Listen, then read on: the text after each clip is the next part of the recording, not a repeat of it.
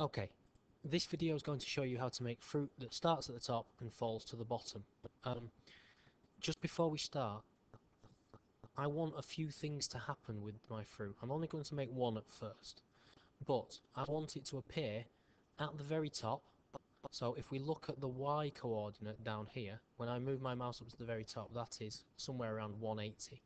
But I don't want it to appear in the same place every time, so I want it to pick a random value across, which is the x-axis. So if you look down here again, bottom right, furthest left x is minus 240, furthest right is 24, plus 240. So we need to bear that in mind. Um, the top of the screen is 180, the bottom is minus 180, and that's on the y-axis. Left is minus 240, right is 240, and that's on the x-axis. Now that we've got that straight, I'm going to go into choose a new sprite from file,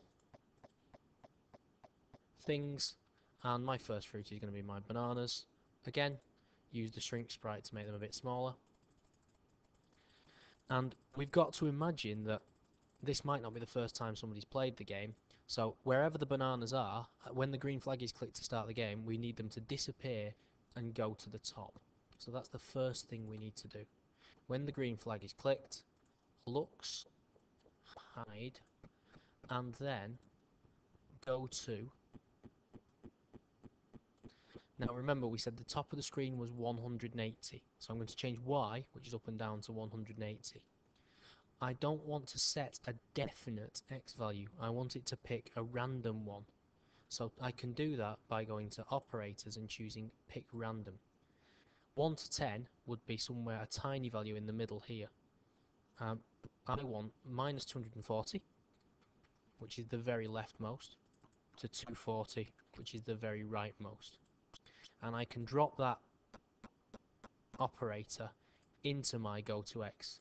I'll just minimize my screen so you can see that.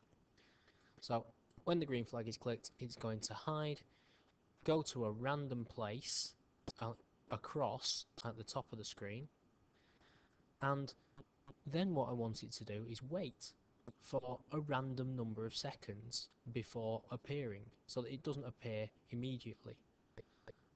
So what I can do there, again, is go to control and choose wait. At the moment it waits one second, but we can use this operator again, this pick random. And 1 to 10, 10 seconds is quite a long time to wait, so I want it to wait somewhere between 1 second and 5 seconds before it shows. So again, I need to tell it to show. There we go. So if I click the green flag, my bananas should disappear. Go to the top, and after either somewhere between 1 and 5 seconds, appear at a random place across. Let's have a look, see if it does that. They've hidden. There we go. If I click it again, they should hide, wait a random number of seconds, and pop up somewhere else. There we go. So now we've done that, we want to make them fall to do that, I'm going to use a glide command. So motion, glide to. Now we want it to glide to the bottom of the screen, so we'll deal with the y axis, the up and down axis first. The top of the screen is 180, we want the bottom of the screen to be minus 180.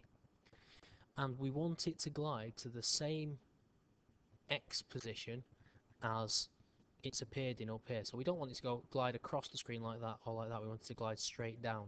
So we need to get X to detect what it's picked up there. Again, go back to sensing and choose X position of, and I've called it sprite 1. It's going to be more useful if I call it bananas, or bananas. There we go, So the X position of banana, and I can drop that in there. Again, I can vary the speed. 1 is very quick, 2 is slower, 3 is slower again. I could even use my random operator, pick random, somewhere between 1 and 5 seconds, so it will choose.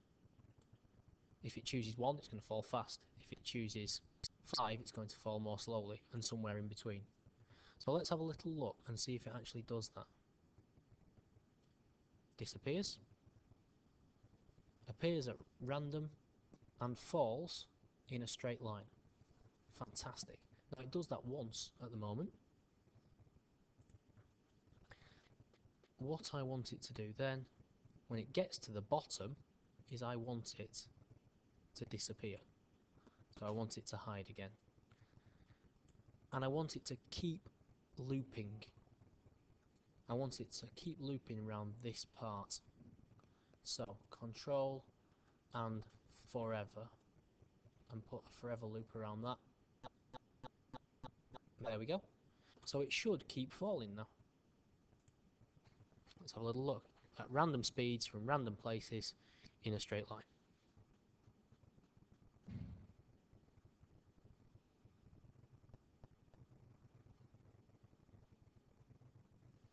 Looks good to me.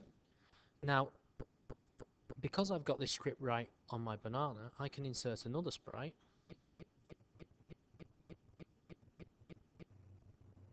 Find some more fruit if I can.